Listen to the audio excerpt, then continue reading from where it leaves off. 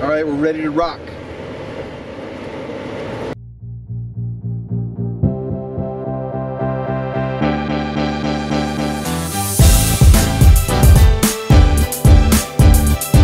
We're out here for today's shoot at the Pima Aerospace Museum. This is one of the world's largest museums and it's a non-government museum. It's got over 300 aircraft spread over 100 acres. So the project is for Athena's Voice. And what this is, is this is some of the top female fighter pilots from all branches. And they are gonna share their stories um, of the incredible things they've done, the parts of history they are. And let me tell you, they're pretty amazing. So hang out, stay tuned, and see how it goes. So today's shoot, so the elements we're dealing with are a lot of sun, a lot of light, a lot of heat. So how we're gonna deal with this stuff? We're gonna block it, we're gonna scrim it, we're gonna control it, we're gonna master the light. But what we're gonna use are strobes also. So we're using the Phottix Indra 500 TTL, which are the latest, greatest from Phottix. These things are pretty amazing little lights. So we have modifiers, we have beauty dish, we have strip boxes, we have big boxes. Some of my choices on the modifiers will have to be dictated by some of the conditions I have to deal with. If there's a lot of wind, I can't go with a huge modifier because it's just basically a big sail.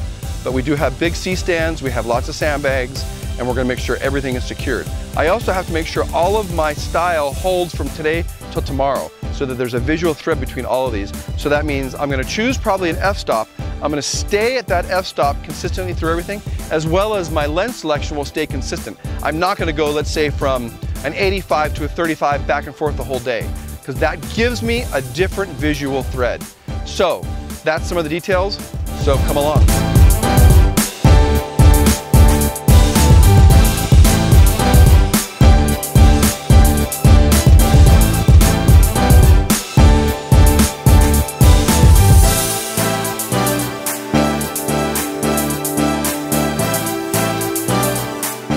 Have our first talent out, our first pilot. And so always the first one, there's the pieces you have to work through to get right.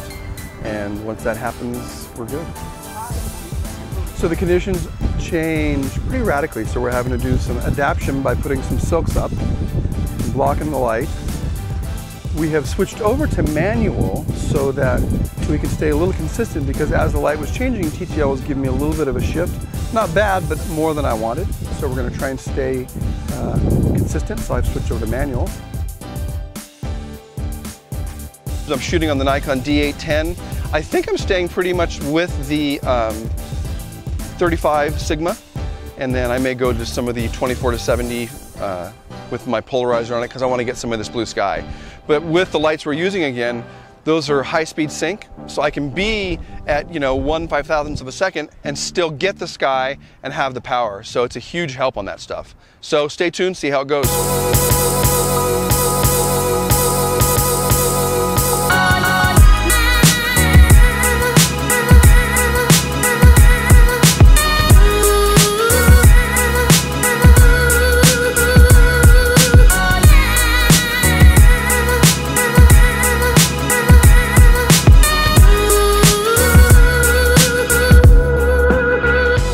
All right, so we're ready for day two. And let's talk about some of the gear that we're using today and yesterday. So I'm using the Phottix equipment and I have the Indra 500 TTL, and these are for Nikon, this setup. Well, you know, the remotes are for Nikon. And I will tell you that we could not have been as efficient yesterday without this type of gear. It's battery powered. I went almost the full day on one battery. We changed at the very end of the day just because we felt like we should back it up. The heart of the whole system that's been great is this Phottix, the Odin 2. The ability for me to change the different lights as they're staged and placed is huge so that I can control the ratios, the powers of those lights. Um, in the old days, I have to admit that I was using dumb radio slaves. I would have to pull the light and adjust the light accordingly and, and change the power. These have been a huge help. So the modifiers for today, I have the collapsible beauty dish. This thing is rock solid. In the wind yesterday, it was a champ, held up great. We have what I call the salad bowl, but it's kind of the big, deep dish. This thing's got a great throw. We actually lit a whole plane with this yesterday. And on, of course, various, just the regular dishes. And these things are great. We put the gels on these last night. And then the strip box. The strip box probably will not have much action today because of the conditions. We're much windier today. So it's a little more difficult to have this with this much wind. So I think I'm gonna leave this one in the truck today. So that's the gear set up for today. Couldn't have happened without this stuff. See you soon.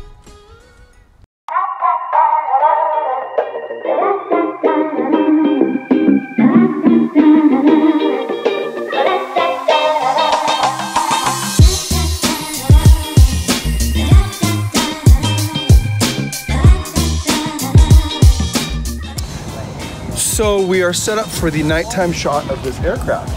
And I will tell you that if it wasn't for these modeling lights, these LED modeling lights, I would be in big trouble. So it's absolutely plenty to focus by. And then I have to have some up very high and in the distance. And so having the ability to control them fairly easily, and even the modeling lights fairly easy from this, has been a godsend.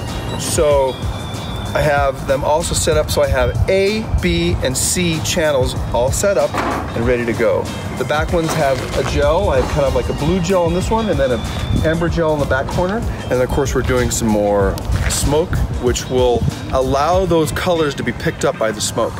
So these have been absolutely priceless for this shoot.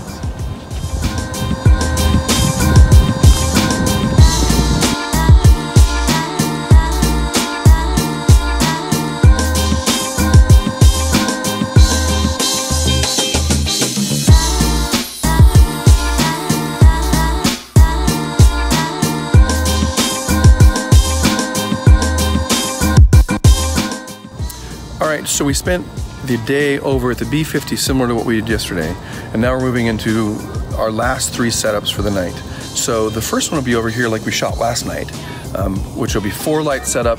I have one on the kind of the large, I call it sellable, and that'll be the main light, and then we're gonna use the small beauty dish, as well as two kickers with gels on it and, and the smoke again. The next one will be over here with an other airplane, and we'll talk about that one later. But the cool one is this one, and check this one out. So we get to photograph this F-16 and it's in the position that we wanted. We worked it out yesterday, the position that I wanted. We tested some shots. Um, obviously the lights are on, it's gonna stay on. This ground is gonna get all wet, which is gonna give us a really great reflection. I'll strobe the back with a couple of strobes, again with the gels. And it's important with the gels because it keeps me with a cohesive thread through all the pictures. They all have the same color profile, the same color palette. And that's something that helps me. Um, and then we're gonna have the beauty dish on the front here. And we may do one more light kind of like hitting the uh, F-16 also. So this will be all wet and shiny and it should be gorgeous. So enjoy.